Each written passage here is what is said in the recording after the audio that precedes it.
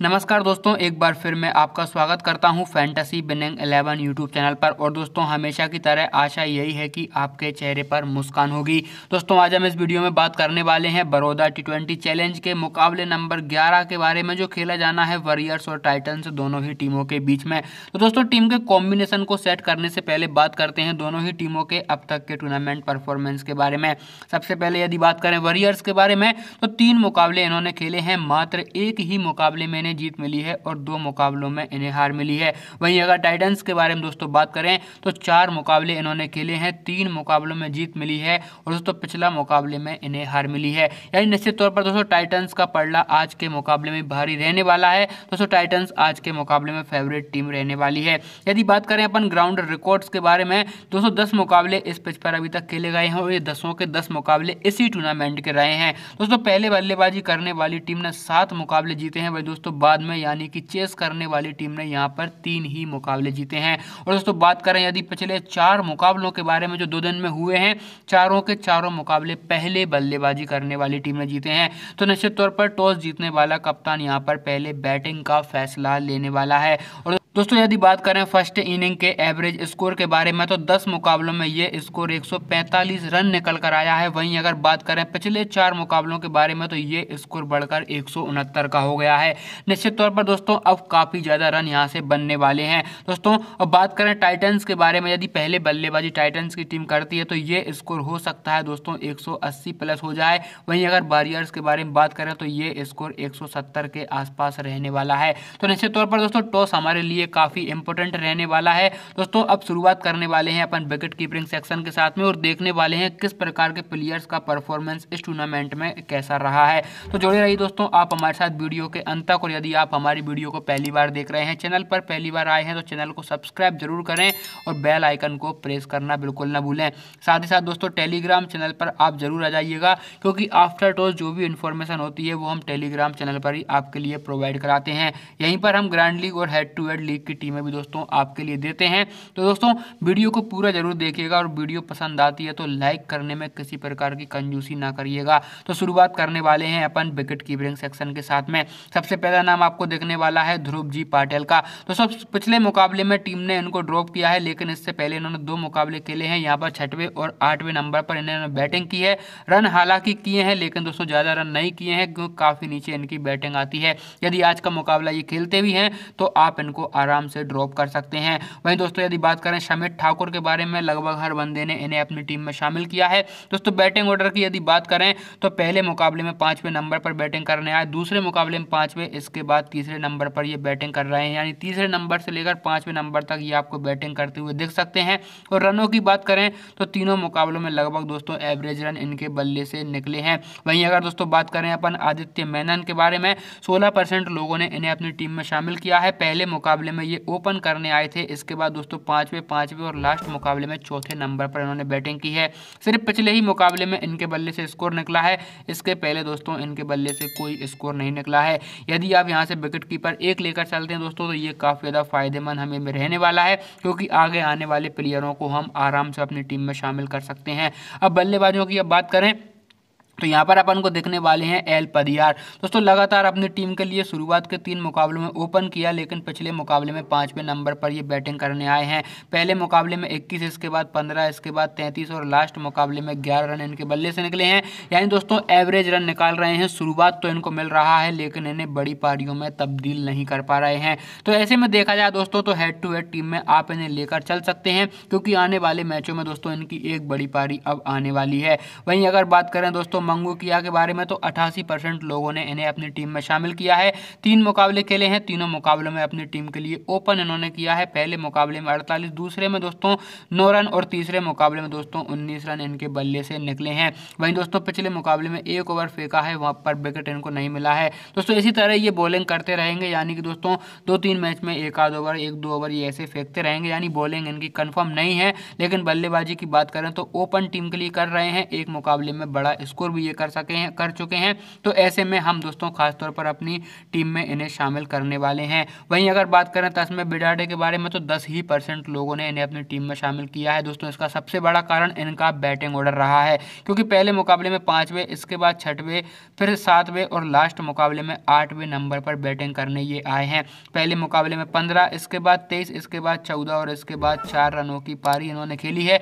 यानी दोस्तों, स्कोरों को देखें तो लगभग स्कोर तो कर रहे हैं, पर दोस्तों बैटिंग ऑर्डर इनका काफ़ी ख़राब है। तो उस लिहाज से देखें तो हम इन्हें अपनी टीम से ड्रॉप करने वाले हैं। अब दोस्तों बात करने वाले हैं अनिल त्रिवेदी के बारे में। लगभग हर बंदे ने इन्हें अपनी टीम में शामिल किया है।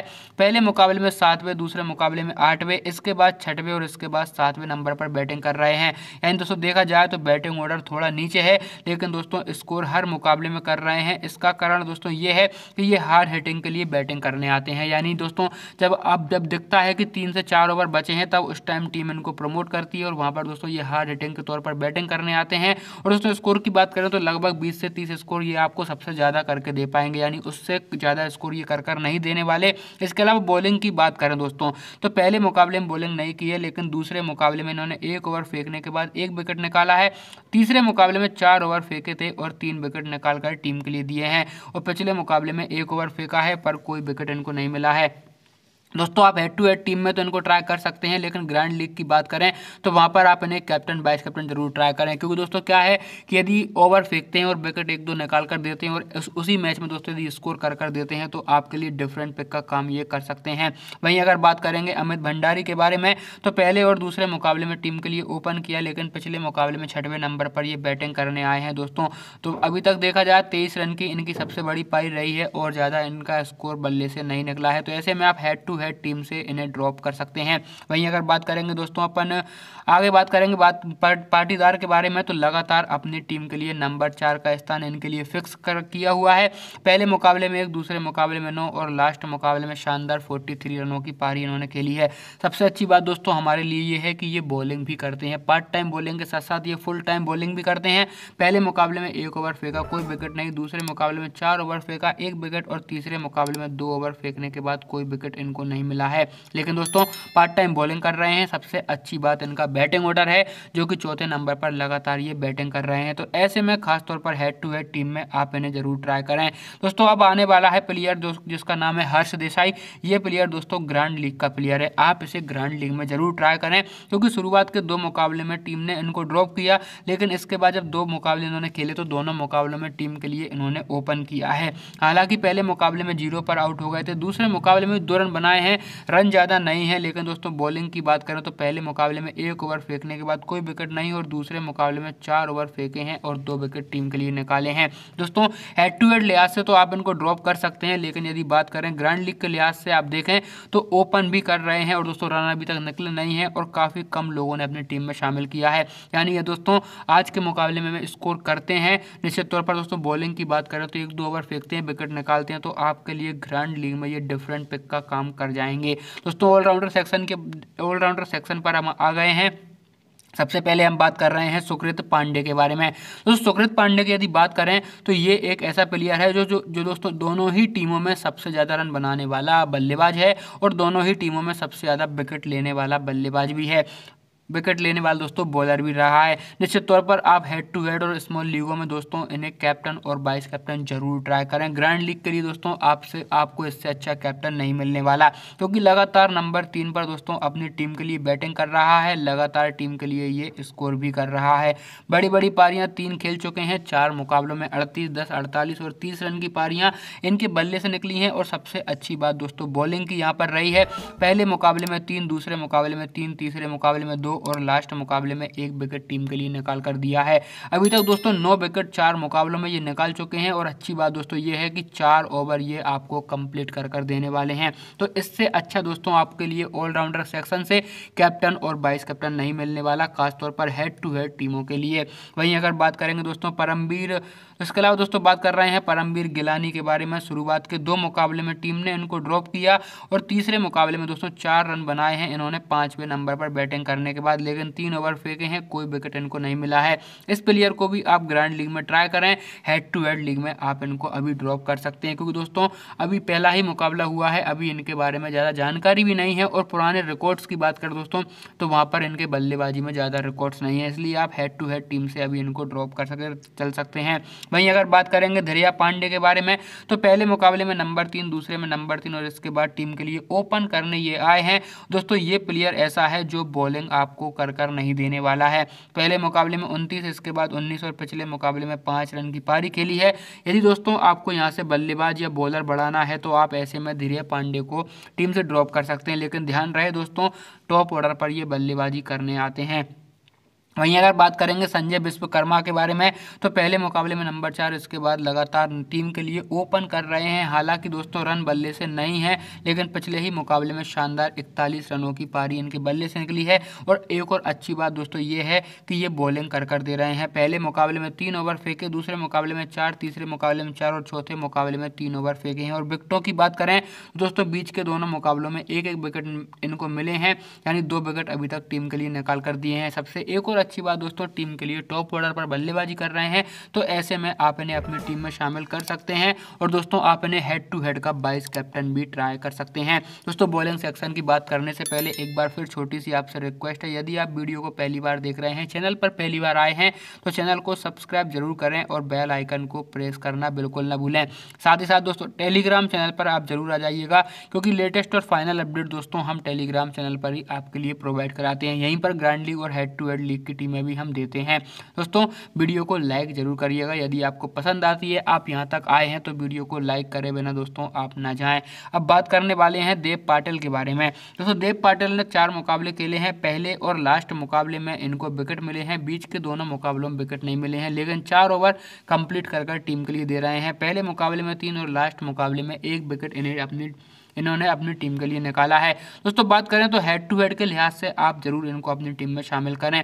वहीं अगर बात करें पहल अग्रवाल के बारे में तो पहले मुकाबले में चार ओवर फेंके, एक विकेट इसके बाद दोस्तों कोई विकेट इनको नहीं मिला है, लेकिन पिछले ही मुकाबले में शानदार चार ओवर फेंकने के बाद तीन विकेट टीम के लिए निकाल कर इन्होंने दिए हैं। यानी तीन मैचों में चार विकेट ये अभी तक निकाल कर दे चुके हैं। वहीं अगर बात करें लक्षित तोक्सिया के बारे में शुरुआत के तीन मुकाबले में दोस्तों तीन तीन ओवर फेंके हैं और पहले मुकाबले को छोड़ दें तो बीच के दोनों मुकाबलों में तीन तीन विकेट निकाले हैं और लास्ट मुकाबले में चार ओवर फेंकने के बाद इनको कोई विकेट नहीं मिला है। हेड टू हेड टीम में ज़रूर आप इन्हें अपनी टीम में शामिल करें। वहीं अगर बात करें विशाल सोलंकी के बारे में, दोस्तों शुरुआत के मुकाबलों में काफ़ी शानदार उन्होंने बॉलिंग की है। लेफ़्ट आर्म स्पिनर है। निश्चित तौर पर दोस्तों ये विकेट निकाल कर देने वाले हैं। हालाँकि पिछले मुकाबले में इनको विकेट नहीं मिला है, लेकिन उसके पहले लगातार ये विकेट निकाल कर दे रहे हैं। भले ही दोस्तों आप बल्लेबाजों को एक कम कर देना लेकिन इस बॉलर को अपनी टीम में ज़रूर खिलाना है। वहीं अगर बात करें दोस्तों मानव मेहता के बारे में ग्रैंड लीग लिहाज से आप इन्हें अपनी टीम में ज़रूर शामिल कर सकते हैं क्योंकि ये प्लेयर ऐसा है सातवें नंबर पर बल्लेबाजी भी करता है। एक बार इन, इनके बल्ले से बीस रन की पारी इसी टूर्नामेंट में भी निकली है। पहले मुकाबले में चार ओवर फेंके दो विकेट दूसरे मुकाबले में चार ओवर फेंके एक विकेट और तीसरे मुकाबले में दोस्तों चार ओवर फेंके हैं पर कोई विकेट इनको नहीं मिला है। दोस्तों अब ध्यान रखिएगा टीम हमें कैसे तैयार करनी है। टॉस का दोस्तों विशेष ध्यान रखना है, जो भी टीम टॉस जीते, उसके बल्लेबाजों को हमें अपनी टीम में शामिल करना है। यानी जो भी टीम दोस्तों टॉस जीत रही है, उसके ज़्यादा से ज़्यादा बल्लेबाजों को हमें अपनी टीम में शामिल करना है। इसी प्रकार से आपको टीम तैयार करना है। और दोस्तों, यदि वीडियो पसंद आया है तो वीडियो को लाइक ज़रूर करें। टेलीग्राम चैनल पर दोस्तों, हम आपको टीम प्रोवाइड करा देंगे। और दोस्तों, साथ ही साथ चैनल पर नए हैं तो सब्सक्राइब करें। और टेलीग्राम चैनल ज़रूर जुड़ जाइएगा, क्योंकि दोस्तों फाइनल अपडेट हम वहीं पर आपके लिए लेकर आते हैं। मिलते हैं अगली वीडियो में, तब तक के लिए बाय जय हिंद दोस्तों।